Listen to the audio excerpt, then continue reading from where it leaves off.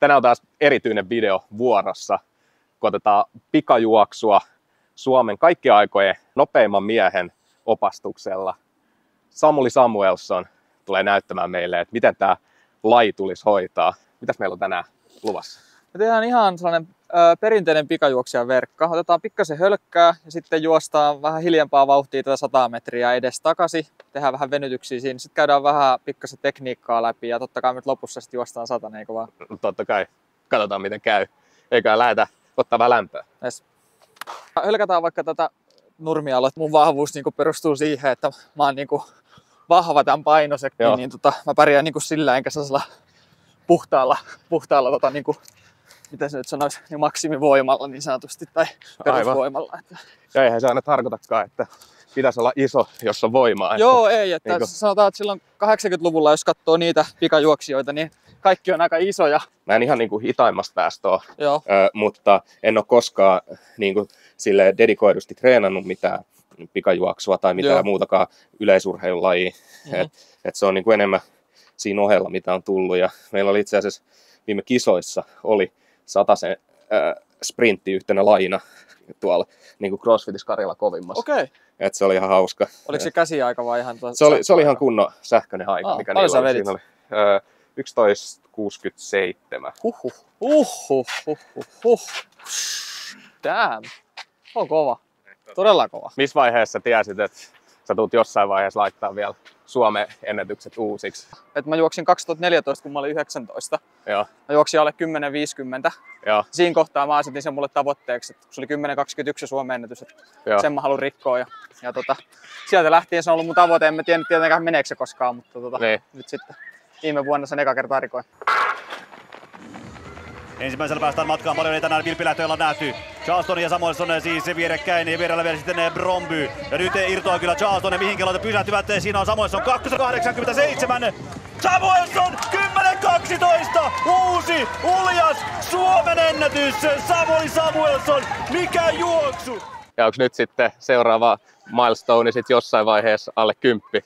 Niin, koko aikahan se lähestyy, että kun sadasosia ottaa pois, niin se lähestyy koko aika, mutta kyllä se vähän vielä on kaukana tällä hetkellä, vaikka Mm. mm. puhutaan vain 12 sadasosasta, mutta ne on, ne on niin tiukassa siellä, siellä nopeammissa ajoissa. Sitä ka- kaikki ei varmaan ymmärräkään, että kun mistä tahansa lajissa, kun aletaan mennä sinne huipulle, niin ne jokainen sadasosan ottaminen pois sieltä vaatii aivan älyttömästi enemmän duunia kuin siellä, kun ollaan sitten taas vielä 11 sekunnin yläpuolella, kun siinä ei olla vielä niin lähellä niitä fyysisiä rajoitteita, mitä ihmisillä Kyllä, on. kyllä, juuri näin. Ja sitten se on hauska kanssa, että jos on vaikka sanotaan, että kaveri, joka juoksee vaikka täysiä 15 sekuntia, ja sanotaan, että se häviää jollekin sadasosa, Nämä näyttää, että tulee samaan aikaan maaliin. Mutta jos sä Mm. juokset alle 10 sekuntia, siinä on sadasosa ero, sä näet sen silmälläkin. Mm. Eli mitä nopeampaa just mennään, niin sitä isommat ne erokkin sitten on siellä. Siis pikajuoksuhan tapahtuu tällä alueella, eli päkiällä.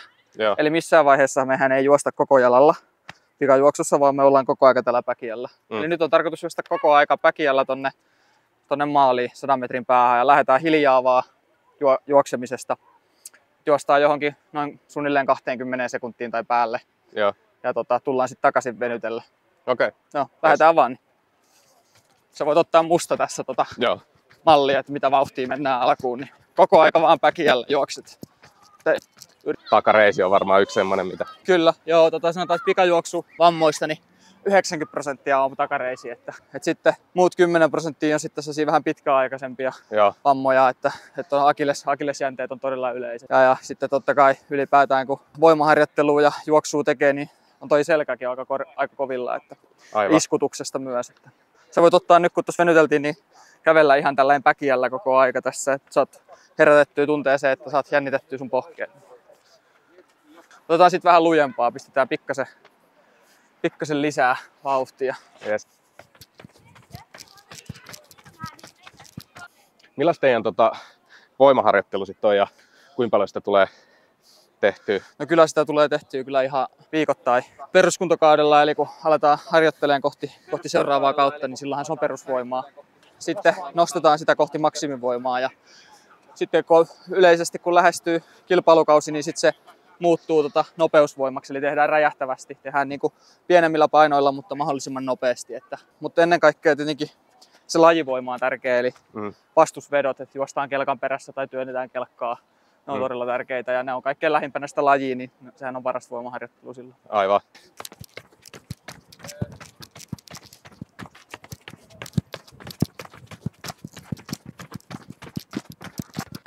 Pikajuoksijat ei ihan hirveästi tee sellaista tasavauhtista lenkkiä tuolla. Me tehdään aika usein niin kuin intervalli tyyppisesti, eli pidetään sitä niin kuin peruskuntoa yllä niin kuin sellaisella pikajuoksun omaisella juoksemisella, Aivan. eikä niinkään sellaisella hölkällä, joka on aika kaukana siitä lajista.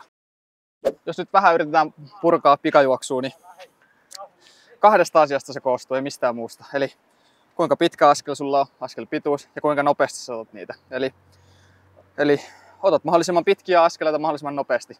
Silloin Mm. mm. sä juokset nope- nopeeta. Että Simppeli laji. todella simppeli laji. Haetaan vaan nopeinta, niin se, siinä turha sitä on tehdä se monimutkaisemmaksi. Juuri näin, juuri näin. Et sitten taas monella tapaa voi, voi juosta yhtä lujaa. Eli voit ottaa kahden ja puolen metrin askelia, mutta et ota niitä askelia kauhean nopeasti. Tai sitten sä voit tikata aivan järjetöntä vauhtia ja ottaa vain kahden metrin askelia. Mm. Jos lähdetään ihan, niinku, ihan perinteisestä, eli ihan tota, otetaan polven nostoa, eli ollaan taas koko aika täällä päkiällä, niin kuin pikajuoksussa ollaan koko aika. Mm. Ja, ja nostetaan jalkaa tällä ja tehdään tällainen välihyppy tässä, tässä keskellä, niin saat, saat vetää vaan loppuun asti tonne 20. Meni niinku toi, mä, sä saat tosta rytmistä kyllä kiinni ihan hyvin, mutta tota, sulla niinku noin nilkat, niin oli niinku näin. Eli Joo. meillä juoksussa, kun telinevoimistelussahan on, pitää juosta tälleen Niin. Ja, ja aina pitää olla, olla nilkka näin, niin meillä pitää olla täysin pä- päinvastaiseen suuntaan. Eli Telinen voimistelussa oli koukussa ja nyt ne on suorana. Okei. Joo, kyllä. Ja tota, ota kä- kädet mukaan ihan vaan. Eli, eli, tota, Eli- eli. silleen, miten luontaisesti tuntuu parhaammalta.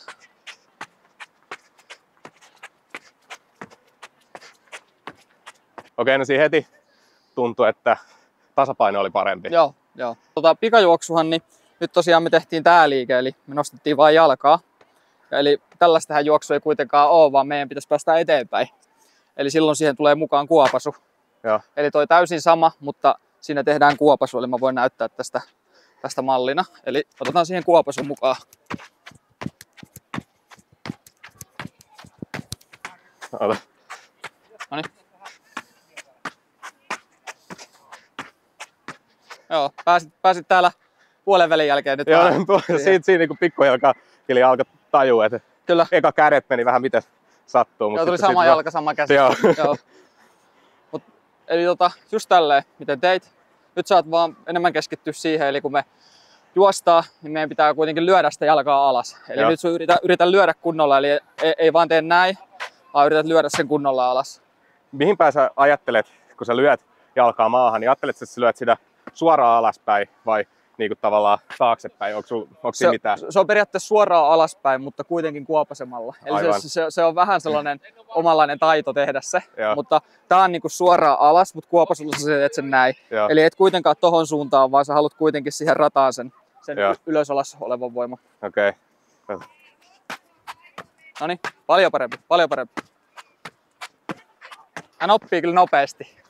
Heti, heti parani todella merkittävästi toi. Että tota, mä luulen, että sulla on varmaan, mä tälleen osaisin arvioida ehkä, ehkä sun juoksusta, että sulla käy varmaan jalat aika nopeasti. Kyllä, se Joo. on, se on niinku se, että siinä, siinä ei ole semmoista niinku, tavallaan lennokkuutta ja hirveästi. Niinku, toisaalta se, että on vähän lyhyempi, mutta se on myös aina ollut tavallaan semmoinen Vahvuus. vahvuus, Kyllä. että niinku jalat, jalat kyllä pystyy käydä nopeasti, Mm. mutta sitten ehkä niinku moni asia tekniikan lisäksi liikkuvuus ja tämmöinen, mikä Kyllä. saattaa myös rajoittaa. Jep, ja, ja kun se on sun vahvuus, se, se että sun jalat käy nopeata, niin sitä ei missään nimessä saa ikinä niin kuin lähteä niin kuin muuttamaan. Eli, eli Mm. se on se tapa, millä sun kannattaa juosta, että sun no, Mm. jalat käy nopeasti, mutta se mitä sun pitää lähteä kehittämään on ilman muuta se askel pituus. Joo. Eli sä saat pidettyä täysin saman rytmin, mutta sä saat otettua pidempi askeli. Silleenhän sä juokset silloin nopeampaa. Aivan. Otetaan, tota, otetaan vähän samanlainen kuin äsken. Nyt tulee pikkasen kehohallintaa tähän lisää. Eli, eli tota, nyt mennään taas pikkasen lähemmäksi sitä juoksua, eli ollaan taas täällä päkiällä. Mm. Ja nyt tehdään niin, että toisella jalalla toinen jalka vaan nousee. Ja toinen Okei. jalka menee suorana. Eli tähän Okei. tapaan. Katsotaan, miten se Nyt. onnistuu. Nyt, nyt pitääkin jo kelata. Eli Joo, hyvä.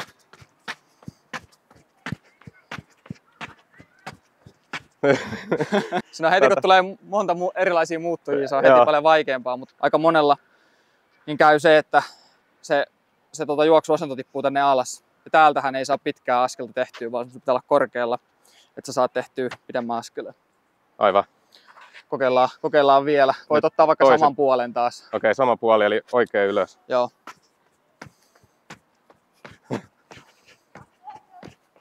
Nyt sullakin pikkasen, niin se meni vähän tänne, Joo, tänne takakenoon tossa, tossa ainakin yhdessä kohtaa. Niin Joo. yritä, yritä, pitää, yritä jännittää sun vatsalihakset. Eli joo, vatsalihakset on todella tärkeässä asemassa tässä juoksussa. Se Joo. on se nimenomaan se, että sun asento pysyy, pysyy niin kohillaan.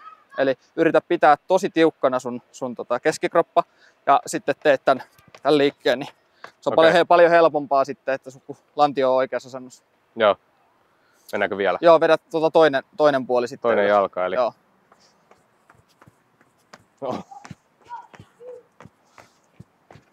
Siinä ehkä huomaa pikkasen puoliero. Joo, koko ja ajan halunnut lyödä sillä oikealla jalalla, mikä piti olla vaan paikalla. Että Kyllä. se niinku, Tässä harjoitteessa tulee hyvin, hyvin just sekin sitten myös huomattua usein, että, että puolieroja tosiaan on. Ja jos juoksussa on puolieroja, niin sehän on silloin jompikumpi on huonompi puoli ja se pitää saada yhtä hyväksi kuin se toinen. joo, Eli silloin kuitenkin äh, juoksuaskeleiden pitäisi olla symmetrisiä. Mm. Tiedätkö sä kummalla, tai tiedät varmaan, kummalla se- jalalla sä lähet edestä? öö, oikealla. Oikealla. No joo. niin, hyvä. Onko se niin aina, että vahvempi jalka mielellään eteen vai onko se vaan, että kumpi Siitä, paremmalta tuntuu? siitä, on, siitä on vähän, tota, siitä ollaan kahta eri mieltä vähän. Et, et kuitenkin telineistä niin ajatellaan aina, että se etumainen olisi hyvä olla vahvi. Joo, Mutta telineistä niin sun, sul pitää molemmat, sun pitää molemmilla jaloilla periaatteessa ponnistaa sieltä. Joo. Eli, eli tämä takajalka on myös ihan yhtä tärkeä kuin tämä etu, Mm. etujalka. Mutta tota, osa on sitten taas sitä mieltä, että se vahvin jalka pitäisi tulla tota, tähän, tähän tota ensimmäisenä, eli, eli tarkoittaa sitä, että se olisi se takimainen jalka nimenomaan. Mutta kuitenkin meidän molemmat jalat pitäisi olla vahvoja mielellään, niin, niin tota, se on vaan se, kumpi tuntuu luontaisemmalta. mä, mä luulen, että se on silti oikein eteen, Joo. koska siinä on parempi balanssi Kyllä. tavallaan. Et siitä, siitä se lähtee, se, että kumpi sulla on heti ensimmäisenä tunne, että on parempi lähteä, niin sillä Joo. kannattaa mennä. Ja se, miten näitä telineitä laitetaan, niin että otetaan tämä alku tästä niin kaksi kenkää, niin silloin sä tuot tämän, tuot tämän telineen siihen kohtaan. Ja sitten tämä takajalka on kolme, eli yksi, kaksi, kolme. Sitten vielä sellainen yleensä perinteinen on se, että, että tämä takajalka on yhden, yhden tota, ö, jyrkempi. Eli koska tämä jalka on se, joka menee tähän ensimmäisenä tähän maahan, niin se olisi hyvä olla myös, myös enemmän siihen suuntaan, mihin mennään. Et jos se on liian loiva, niin silloinhan se osoittaa enemmän tohon suuntaan. Joo. Jos on jyrkempi, niin se osoittaa sinne suuntaan, mihin me halutaan mennä. Okei. Se olisi niinku siitä. Ja aika hyvän näköinen asento itse asiassa. Todella hyvän näköinen. Joo. Hyvä. Mä mietin tota, haetaanko, haetaanko sulle piikkarit? Saat heti vaan. saman tien, koska tää on vähän liukas. Tällä, tässä ei ole kauhean hyvää vetää näillä kengillä. Tässä on pikajuoksupiikkarit. Joo. Et ole vissiin aikaisemmin ikinä pitänyt jalassa. En ole koskaan kokeillut. Joo, eli se mikä tässä niinku on erikoista on se, että tämä päkiäosa, just se millä me juostaan, Mm. niin se on tälleen niinku pikkasen korkeammalla, eli tai että se on niinku käännetty tuohon suuntaan, koska sitten se kenkä menee näin. Eli Aivan. just nyt tässä kohtaa sun pitäisi niinku juosta. Eli tota, se ohjaa sut suoraan sinne päkiälle paljon Joo. helpommin. Ja sitten tietenkin piikit, eli, eli syö paljon paremmin rataan, saat, saat paljon enemmän niinku, tuotettua helpommin voimaa tähän rataan, kun ei ole mitään, mitään luistoa siinä. Niin Jos pitäisi sanoa, että paljon tulee lisää sadassosia, jos sä vaihat niinku kengät tai sit normilenkkarit tai piikkarit, niin paljon tulee. Se on vaikea sanoa, kuinka paljon niin kuin lenkkarit, le, äh, lenkkarit versus piikkarit vaikuttaa, mutta kyllä, kyllä niillä, kyllä mä sanoisin, että siinä on niin kuin kuitenkin aika selvä ero, koska varsinkin erityisesti täällä lähdössä, niin sä saat paljon paremman sen tuntuman kyllä tuohon Mm. niin kuin rataan, koska se pysyy se jalka siinä, eikä tule mitään pientäkään muutosta siinä. No siinä kyllä huomaa heti, että se tota, Joo, tonne, sä tulet, Niin, kyllä, sä tulet kyllä huomaa eroa, että se on paljon, paljon niin kuin miellyttävämpää juosta nopeita noilla. Tuohonkin on monia tapoja, miten, miten pikajuoksijat pitää piikkareita, että mä esimerkiksi mä laitan niin kireelle kuin vaan ikinä voin okay, saada ne. Ja mä käytän vielä silleen, että mulla ei ole sukkaa siellä ollenkaan. okay, Eli tulee paljon vielä niin kuin sellainen selkeämpi tuntuma siellä, joo, siellä tota, kengän sisällä, mutta se, ne, ne, on nyt tällaisia henkisiä juttuja sitten oikeastaan. aivan. Sitten pitää laittaa toinenkin vähän tiukemmalle tai liian löysä. Onko mitään muita semmoisia rutiineja, mitä pitää aina ennen kisaa pitää tehdä samalla tavalla? Itse ainakin muista futissa aikoina piti kengät piti aina sitoa samalla tavalla ja onko mitään tämmöisiä? No mulla on ehkä enemmän siinä, että mitä mä teen niin kuin veryttelyssä, että mitä liikkeitä mä teen Joo. aina ennen kisaa. Että se on ehkä se mun rutiini enemmänkin. Että aika monella on myös rutiinina, että kuuntelee jotain tiettyjä biisejä. Mm. Mä oon aika harvoin tota itse asiassa kuuntelen edes musiikkia. että Mä tykkään enemmän olla siinä, kuunnella niitä kisapaikan niin kuin ääniä ja olla Joo. siinä niin kuin läsnä siinä tilanteessa, enkä, enkä sulkea itteeni sit niin kuin sinne korvanappeluihin. Että No mä, mä en myöskään pysty ki- kisoissa ennen lajeja kuuntelemaan musaa, koska sit tavallaan kun sä joudut kuitenkin ottaa sen musan pois, mm. Niin sit sä oot niinku ihan eri ympäristössä Joo, kuin se, se, että sit taas treeneissä voi, jos, jos haluaa, joskus tarvitsee vähän ekstra boostia, mutta tota, ää, kisoissa on vähän sama. juuri näin. Kokeile vähän. Juokse, juokse nyt päkiällä, kokeile miltä ne tuntuu.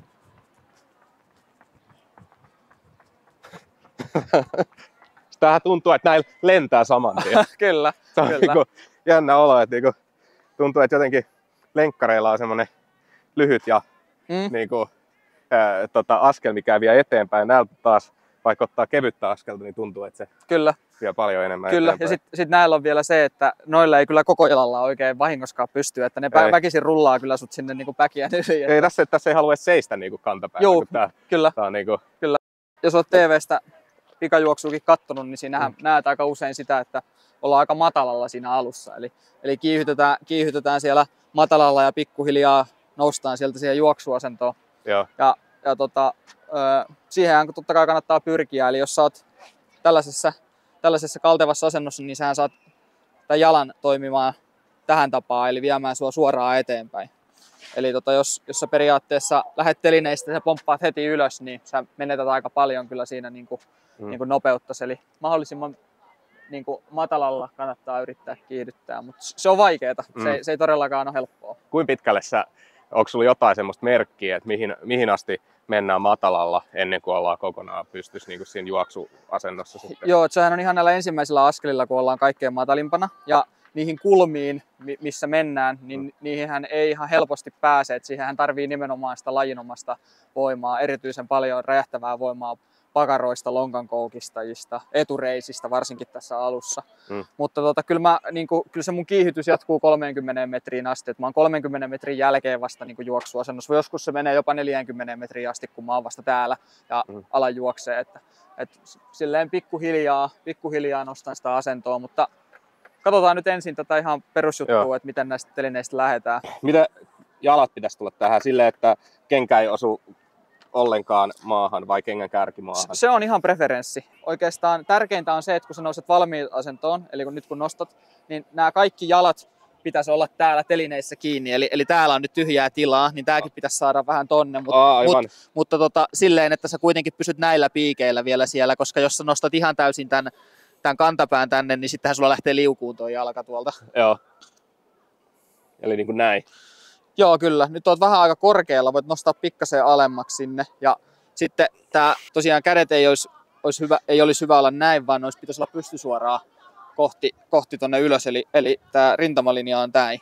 Eli nyt kun sä nostat, nostat sun asentoa näin, niin sulla pitäisi pysyä se koko aika. Eli et mene tänne, Aivan. etkä myöskään ihan liikaa tännekään. Eli okay. yrität pitää tämän hartia-asennon koko ajan. Just näin, just näin. Ja sieltä.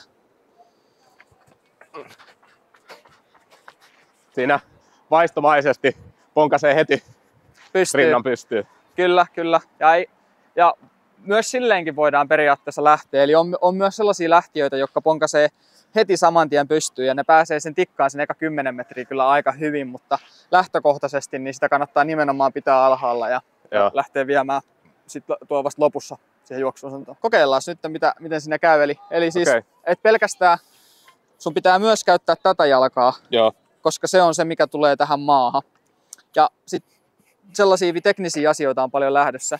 Eli aika moni niin, niin, niin tuppaa tekemään sen, että kun ne lähtee, mä, mä lähden vasen edellä, Mm. on se, että tämä takajalka tulee täältä ylhäältä ja tulee tähän alas. Eli, eli kaikkein optimin olisi tietenkin se, että sä saat sen jalan mahdollisimman nopeasti tähän, tähän rataan. Mm. Eli silloin se kannattaa tuoda mahdollisimman alhaalta. Joo. Eli, eli yritä tuoda sen täältä, etkä, etkä täältä. Okei. Okay. Eli mitä nopeammin saat siinä radassa, sitä nopeammin sä pääset muilta karkuun. Joo. Todella hyvä. Juuri noin. juuri noin. Sulla tuli hyvin suoraviivaisesti suoraan se, se sun takajalka täältä, täältä tohon rataa.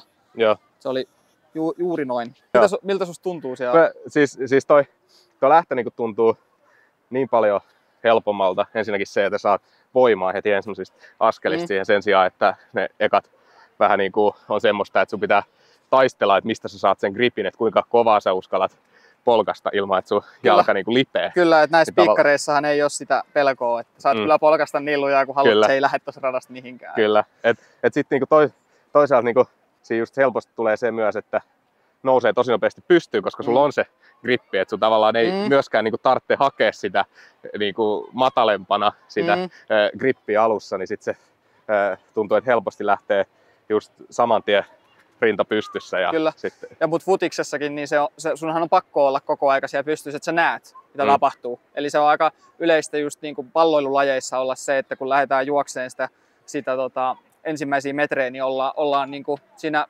heti valmiissa asennossa, kun pitää mahdollisesti mu- muuttaa asentoa johonkin suuntaan, lähtee juokseen Mm. tonne, lähtee juokseen tonne.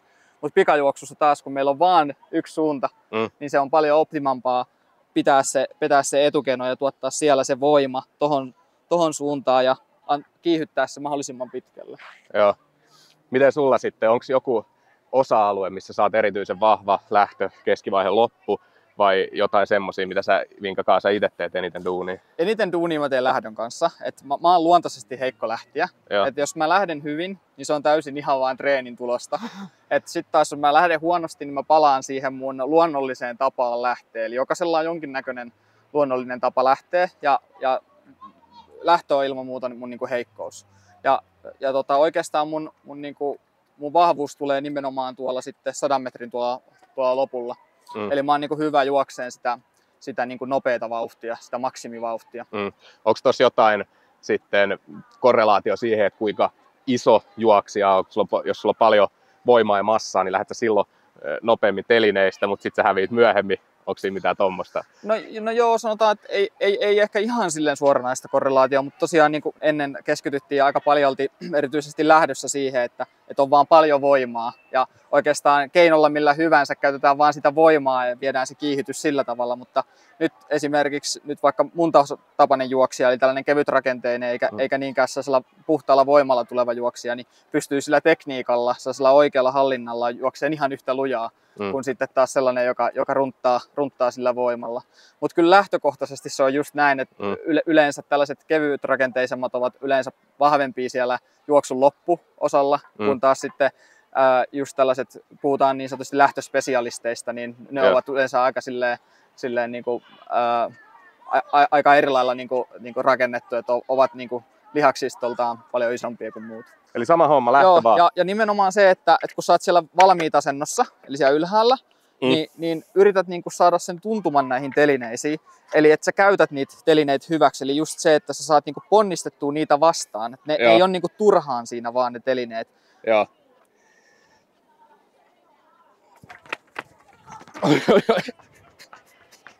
Se, se, oli itse, se oli itse asiassa se oli tosi hyvä. Nyt sä näit, mitä siinä käy. Eli sun pitää periaatteessa yrittää tuollaisille kulmille, mutta nimenomaan sitten harjoittelulla ja sun muulla, mm. Mm. niin sä tulet niihin pääsee. Mut Aivan. Nyt, nyt esimerkiksi saattoi olla, että, että, että tässähän tapahtuu kaikki tosi nopeasti. Mm. Niin esimerkiksi silmällä on välillä aika vaikea nähdä se, että mitä siinä tapahtuu. Mehän Mm. käytetään paljon just harjoitteluissa niin kuin videokameraa, että me päästään näkemään ne hidastettuna. Mutta tossa esimerkiksi saattoi käydä, käydä myös niin, että sä toit, sä toit tämän sun takajalan täältä vähän liian tänne eteen Joo. oikeastaan. Ja, ja sitten se saattoi olla, että se sen jälkeen se toinen askel meni vähän huonosti siitä. Joo, siinä piti ottaa vähän niinku, vähän niinku tukea. ja- Jarrutusaskel joo, siinä, joo, joo. Ja kyllä, sitten sen jälkeen kyllä, tota, oikasta. kyllä, mutta joo, nyt oli oikein hyvät kulmat, että sä, Joo. sä oikeasti hyökkäsit siihen suuntaan, mihin me ollaan menossa. Että. No kokeile vielä yhden, jos Kokeile, niinku kokeile. pysyttyä vielä pystyssä. Mä katson vähän täältä kauempaa, kun sitä ei tästä läheltä näe aina niin hyvin. Että...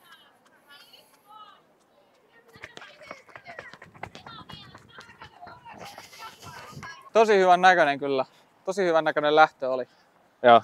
Et se, se, mikä pistää silleen vähän niin kuin silmään, nä- näkee, että kun sä oot pari kolme askelta ottanut, niin näkee oikein, kuinka se sun vauhti niin kuin lähtee kiihtyy, mikä on hyvä asia. Mm. Mutta mä tiedän, että sulla on niin paljon enemmän potentiaalia näillä ensimmäisellä, ensimmäisellä, toisella ja kolmannella askeleilla. Et, et pitä, sun pitäisi vielä saada niin kuin, käytettyä näitä telineitä hyväksi, mutta sähän nyt eka kertaa oikeastaan mm. otat telineistä, niin, niin ethän sä nyt heti sitä voikaan oppia. Mm.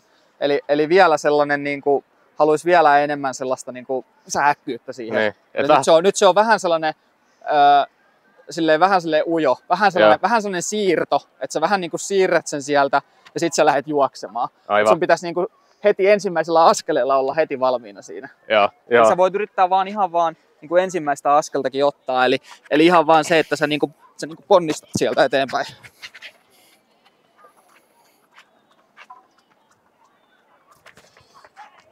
Se tuntuukin siltä, että ei saa ihan kaikkea sieltä Joo, irti, että vähän niin kuin jäisi tavallaan pikkasen vajaaksi. Joo, se, kyllä. se ojennus ei ole ihan niin kuin lan, lantioitu täysin ojennettu, vaan että se jää ja mä en tiedä, onko Joo. siinä niin kuin osittain se, että just nimenomaan pelkää sitä, että okei, että jos mä annan niin kuin se ojennuksen mennä loppuun, niin mä oon naamallani tossa.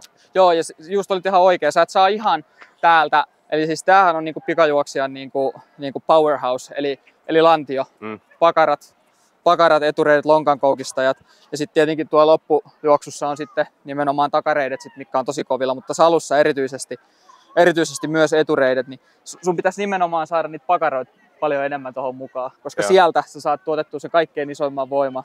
Tämä on niinku paras lihasryhmä, mistä sä saat, se, saat sen voiman tuotettua. Eli et niinku kippaa sitä tässä Mm. lähdössä mihinkään tänne. Joo, Sitten se menee aika paljon etureisille, joo. vaan yrität pitää sitä lantioa täällä koko aika. Et se on niinku se, millä sä teet sen duunin. Mm. Se, on, se, se on vaikea tehdä. Mm. Mä tiedän sen, mä oon paljon itsekin tehnyt siihen duuniin. Mut Yrittää nimenomaan pitää se, että sun täytyy jännittää vatsalihaksia todella paljon, Joo, että sä saat pidettyä sun lantio oikeassa asennossa ja saat nimenomaan käytettyä täältä sen voima.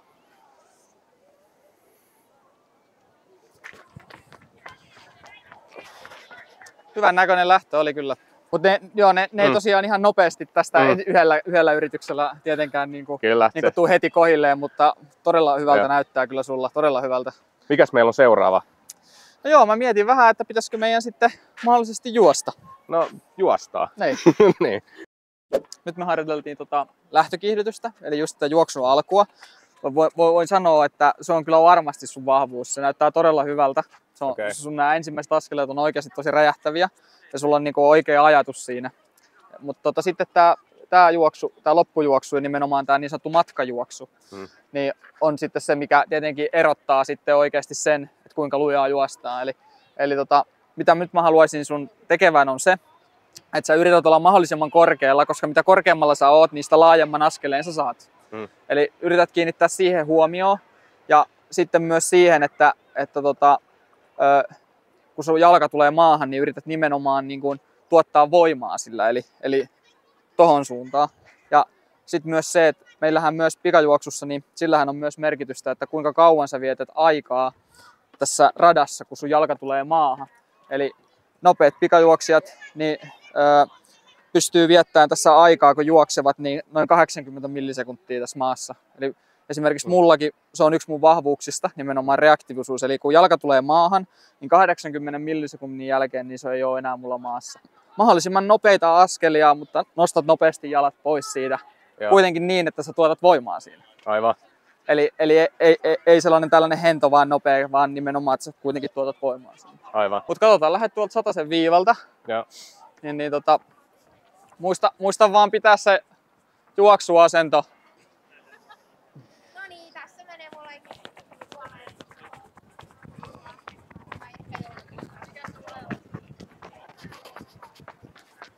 No, miltä se tuntuu? No, se tuntuu, se on, niinku, se on jännä, kun ensimmäistä kertaa niinku koittaa ihan juosta. Toinenhan se, että niinku, tuntuu, että nilkat on kovilla, Joo. kun ei ole tottunut siihen, että sulla ei ole mitään vaimennusta Kyllä. ja sä niinku pitäisi tuottaa kovaa voimaa, Mm. niin sit siinä niinku melkein jopa vähän niinku varoo sitä, että Joo. sä et uskalla laittaa niinku täyttä. Joo, kyllä, kyllä. Joo, sit sä pysyit ihan tässä niinku suorassa asennossa, et, et ollut täällä, etkä myöskään ollut täällä, niinku tälleen, tälleen niinku, ää, korostetusti. Et se oli nyt hyvä, että sä pystyit olemaan tässä. Sitten sellainen asia vielä, että eli, eli se, mitä lujempaa sä juokset, niin sitä vaikeampi sitä asentoa on pitää. Mm. Niin, mutta on tärkeää just se, että tässä on niinku staatti, staattiset niinku vatsalihakset on todella niinku tärkeät juoksussa. Joo. Just se, että sä saat pidettyä se asennon, että nyt sullakin tässä 20, kun tuonne 40 metriä juostiin, niin sulla pääsee vähän valuun se asento. Eli sun pitää pitää tämä asento hyvänä, koska jos nämä vatsasekset ei pidä, niin sitten se alkaa kääntyä sulla tänne. Eli tämä lantio alkaa pikkasen niin kippaamaan tähän suuntaan. Eli hyvässä tota kondiksessa, että sä saat sun pakarat mukaan ja saat tuotettua sitä, sitä Okei. voimaa optimaalisesti. Koska jos se lantio on väärässä asennossa, niin se, se voima hukkuu. Se Aivan, et saa sitä siihen rataan. aivan. Ja sulla on voimaa. Sä, Niin, sun, sun se kannattaisi pitäisi- käyttää se. Siinä pitäisi vaan osata käyttää. Kyllä, kyllä. Otetaan vielä kerran, niin Joo.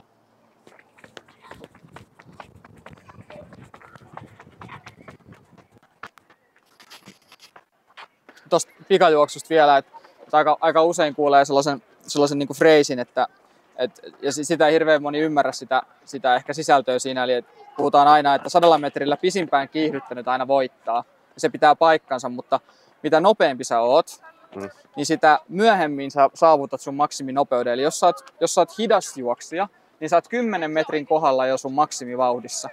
Ja sen jälkeen sä alat hyytyyn. Kun taas sit mitä nopeampi sä oot, jos sä oot vähän nopeampi, niin se on 20 metrissä. Jos sä oot vielä nopeampi, se on 30, 40, 50. Et esimerkiksi Usain Boltilla se oli siellä 85 metrissä, koska sen huippunopeus oli niin jäätävä, Mm. niin se, se, näytti vaan, että se vaan kiihtyy ja kiihtyy kiihtyy. Mutta se johtui siitä, että niillä muilla se no, maksiminopeus oli paljon aikaisemmin kuin Boltilla.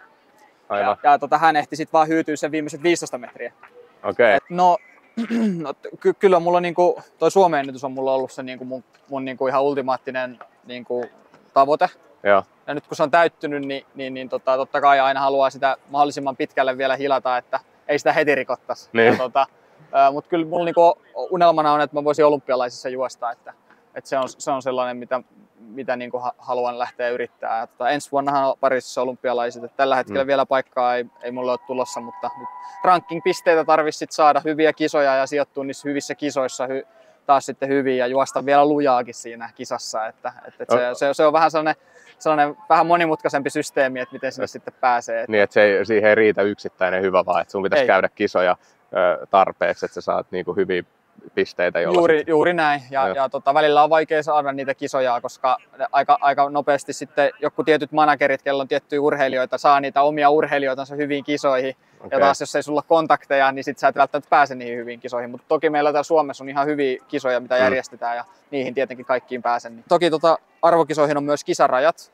Niin. Mutta ne kisarajat on niin korkeat, että niitä, niitä ei, ei hirveän moni edes riko. Et sadalla metrillä pitää rikkoa 10 sekuntia, että saa sen kisarajan tehtyä. Et se, se ei koske sitten ihan, ihan kyllä kaikkia juoksijoita tietenkään. Että.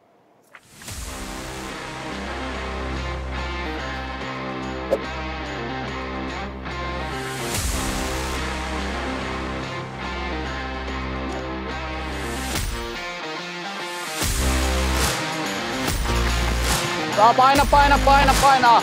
Hyvä, hyvä, hyvä.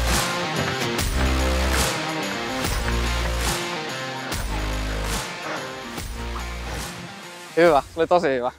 Hito jees, todella kova. No, tollanen, tollanen aika sieltä tuli, että se on noin suuntaan Noniin. antava. 11.52, että se pyöristetään käsiajalla 11 kuuteen. Et, et varmasti juokset sähköllä alle 12 ja oothan sä juossutkin. No niin, Mm. niin, Kyllä. kyllä. Että tota, joo, se, joo, siinä on niinku, tavallaan lähtö tuli vähän nopeasti, niin tu, Joo. tu, taas sille ei, ei niinku ehtinyt keskittyä siihen, vaan se meni siihen niinku normaaliin Kyllä, saman tien pystyyn ja Juuri näin. sit vaan, juuri näin, että se tarvii paljon toistoja, kun tulee se kisatilanne. Joo. Että siinä pitäisi kaikki mennä kohdille. Et pikajuoksu on aika armoton siitä, että esimerkiksi monessa vaikka kenttälajissa on kuusi yritystä. Meillä on vain yksi. Joo. Ja sitten jos, jos huonosti menee lähtö, niin siinä menee sun kisa. Että se, on, se on niin pienistä asioista kiinni, että sä Joo. saat sen huipputuloksen. joo. Kaveri on, kaveri on äärimmäisen nopea. Tämä on todella kova aika sellaiselle, joka ei, ei pikajuoksua harrasta. Että, että kyllä, kyllä susta no- nopeita soluja kyllä löytyy muille jakaa. No niin, loistavaa. Kyllä. Hei, kiitos paljon Kiitos. vinkkeistä Kiitos. ja kiitos, että pääsit tänne videolle Joo. antamaan, kertomaan vähän, että miten se juokseminen kuuluisi, kuuluisi hoitaa. Että tästä kun nämä vinkit ottaisiin käyttöön, niin voisi siitä jonkunnäköisen ajan joskus juostakin ehkä. Kyllä, ilman muuta. Mä laitan tuohon noin vielä Samuli Instagramin, käykää sieltä katsoa, niin pääsette seuraamaan Samulin kisailuun ja sitä matkaa, kun lähdetään sitä 10 sekuntia tavoittelee ja alittaa sitten jossain vaiheessa. Kiitos, että tulit taas katsomaan jälleen kerran ja me nähdään sitten seuraavalla viikolla.